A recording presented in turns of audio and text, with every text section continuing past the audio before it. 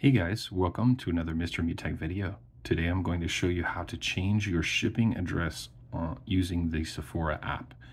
Now, using the app is going to be one of the easiest ways to change your shipping address on your current account, and I will show you how to do that today.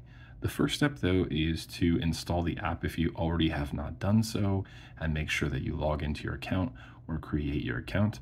And then what you're going to want to do is go ahead and open the app itself. Once you open the app, you're going to see some options toward the bottom of your screen here.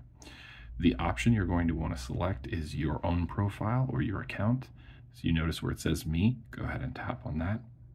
And then after you're doing so, you're going to scroll down until you see the option for your account, payment contact, info, addresses, password.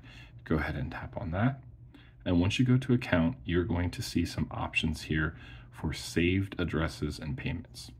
Okay, so we're going to go ahead and select saved addresses.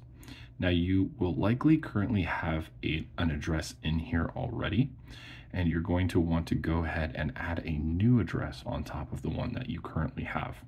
Once you add the new address and fill out the info and save it, you're going to then want to go back and go ahead and delete the old address if that is no longer applicable to your account.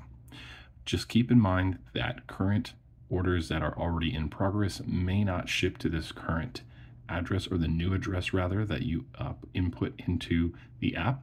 So make sure that you call support for Sephora just to verify that they have not shipped out your items already and that they will go to the new address that you have input. Hopefully this was helpful for y'all. If so, feel free to give this video a thumbs up and have an amazing day. Take care.